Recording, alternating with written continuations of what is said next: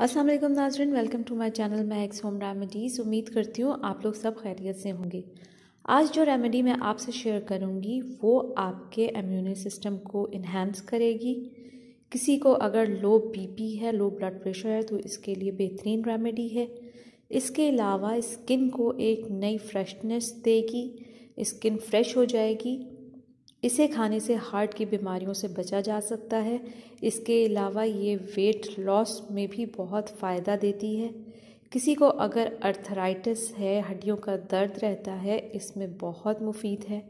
इसके अलावा good tonic है डाइजेस्टिव सिस्टम के लिए। इस रेमेडी को बनाने से पहले मैं आपसे रिक्वेस्ट करना चाहूँगी कि अगर आपने अभी तक चैनल सब्सक्राइब नहीं किया तो प्लीज़ सब्सक्राइब ज़रूर कर लें, ताकि आप जान सकें हर मसले का हल। इस रेमेडी को बनाने के लिए आपको चाहिए लहसुन के आठ जवे, एक कप सेब का सिरका और एक कप ही आपने हनी लेना है। कोशिश करें कि हनी प्योर हो।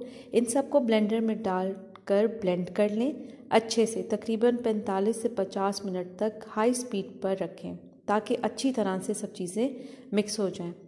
अब इसे एक बॉल में निकालें या किसी जार में निकाल कर फ्रिज में चार से पाँच दिनों के लिए रख दें। इसके बाद ये मिक्सचर पाँच दिनों के बाद तैयार हो जाएगा। यूसेज इसका इस्तेमाल आपने इस तरह से करना है कि एक गिलास पानी में दो टीस्पून डेली आपने सुबह पीना है। चूँकि ये एक स्ट्रॉन्ग मिक्सचर है, लिहाजा डायरेक्ट नहीं लेना। पानी में डालकर पीना है।